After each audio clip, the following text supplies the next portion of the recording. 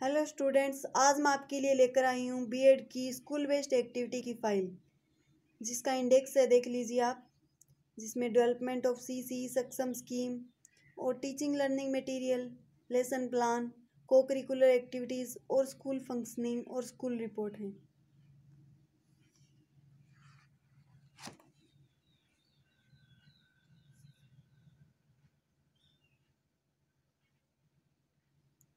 ये जो school internship में हम जो इंटर्नशिप लगा के आते हैं, उसका सर्टिफिकेट है जो हमें लगाना है फ़ाइल में?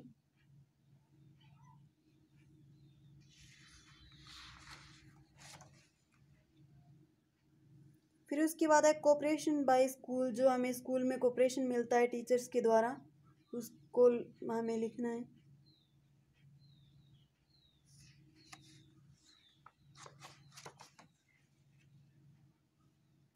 फिर इसके बाद आता है development of C C start होता है हमारा टॉपिक इसमें हमें डेवलपमेंट ऑफ़ सी सी में सबसे पहले करना है. इंट्रोडक्शन मीनिंग डेफिनेशन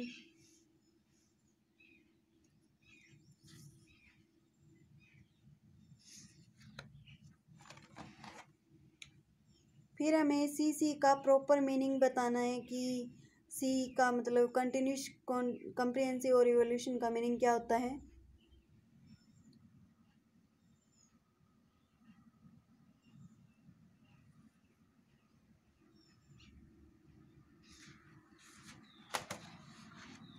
फिर हमें करना है features of C C B C C की क्या विशेषताएँ हैं?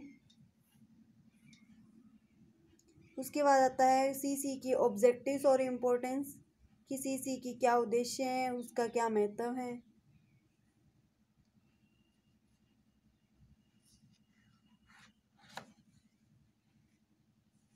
फिर है सी सी की मेरिट्स और डीमेरिट्स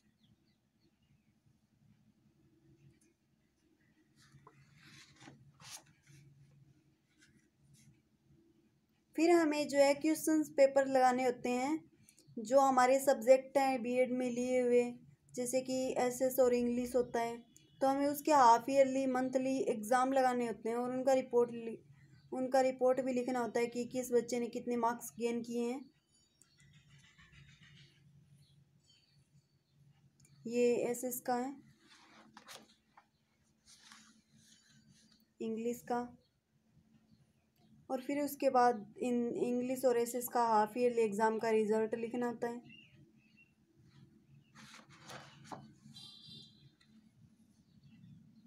फिर हमारे मंथली एग्ज़ाम भी होते हैं स्कूल्स में तो वो लगाने हैं हमें उनके एग्ज़ाम पेपर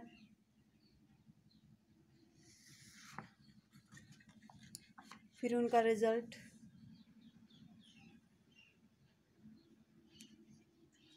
फिर हमें जो है सी सी पर फॉर्मा लगाना है.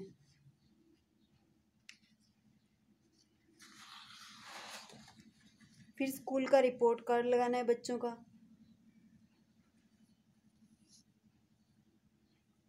फिर आता है सक्षम।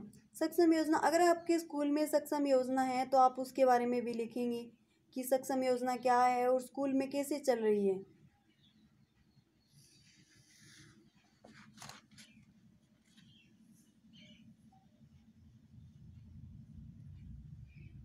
फिर सक्षम के एग्ज़ाम भी होते हैं बच्चों के तो हम उनके उन एग्ज़ाम पेपर लगाएँगे और उनका रिपोर्ट भी लिखेंगे कि उनका रिज़ल्ट कैसा रहा। फिर आता है हमारा topic development of teaching learning material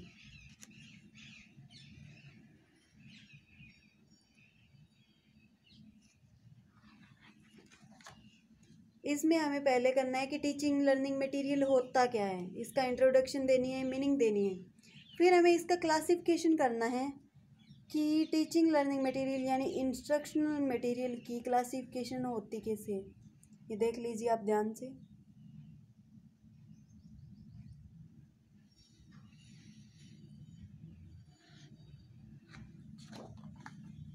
उसके बाद हमें क्या करना है कि जो हमारे सब्जेक्ट हैं बीएड में लिए हुए, उनमें हमने स्कूल इंटर्नशिप में कौन कौन सी टीचिंग एड्स यूज़ की कौन कौन सी टीचिंग एड यूज़ की जा सकती है, उनके बारे में लिखना है और उनकी पिक्स लगानी है।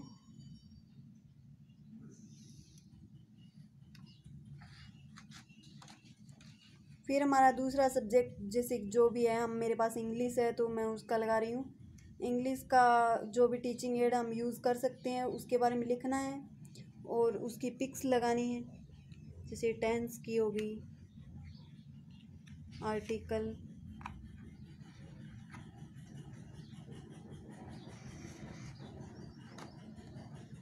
फिर आता है हमारा लेसन प्लान। हम क्लास में जाने से पहले लेसन प्लान करते हैं तो वही हमें लिखना है। कि लेस, पहले तो हमें ये लिखना है कि लेसन प्लान होता क्या है? इसका मीनिंग इंट्रोडक्शन डेफिनेशन ये सब लिखना है कि लेसन प्लान क्या चीज़ है। फिर हमें लेसन प्लान की नीड एंड इम्पोर्टेंस बतानी है।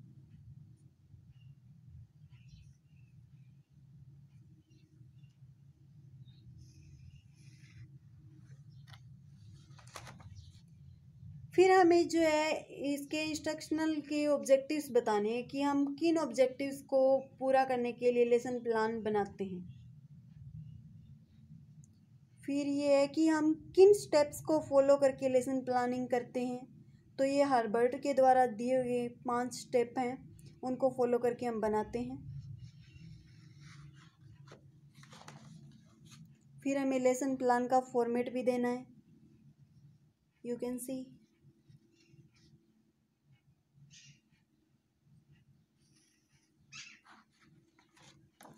उसके बाद आता है को करिकुलर एक्टिविटीज़ हमारी जो स्कूल में करिकुलम के साथ साथ जो अदर एक्टिविटीज़ होती हैं, वही। तो हम पहले बताएँगे कि को करिकुलर एक्टिविटीज़ होती क्या हैं? इसका इंट्रोडक्शन मीनिंग टाइप्स फिर उसके बाद आता है कि हमारे स्कूल में कौन कौन सी एक्टिविटीज़ हुई थी इंटर्नशिप के दौरान? जैसे कि चिल्ड्रंस डे दिवाली सेलिब्रेशन फिर उनकी सामने पिक्स भी लगानी है हमें।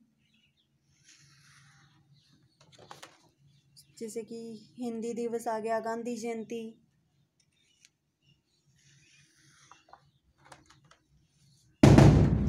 हैंडओवर्स डे। फिर उसके बाद आता है स्कूल फंक्शनिंग, कि स्कूल में क्या क्या मतलब एक्टिविटीज़ होती थी।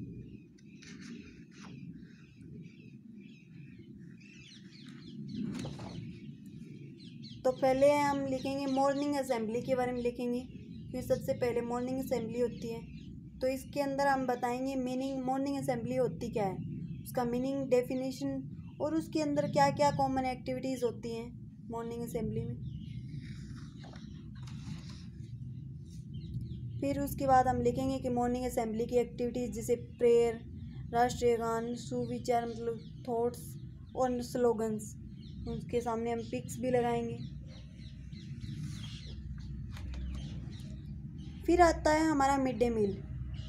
इंडिया में हर गवर्नमेंट स्कूल में बच्चों को सिक्स से एट्थ क्लास तक, एट्थ क्लास तक मिड डे मील प्रोवाइड किया जाता है। तो हम उसके बारे में लिखेंगे पहले कि मिड डे मील होता क्या है, उसका ऑब्जेक्टिव्स क्या है मिड डे मील देने का।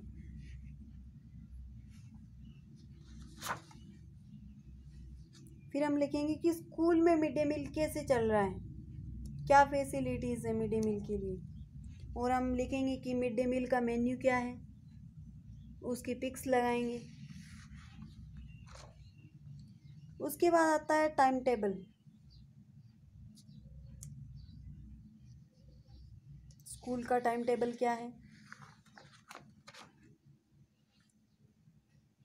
हम देखेंगे टाइम टेबल इसमें बच्चों को क्या मतलब कैसे एडजस्ट करना है टाइम को पढ़ाने के लिए?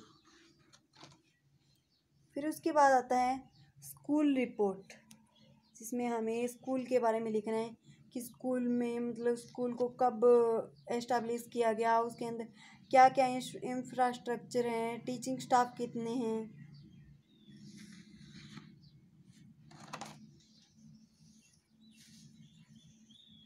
स्टूडेंट्स कितने हैं? इसमें सक्षम योजना है या नहीं है? तो कैसे चल रही है?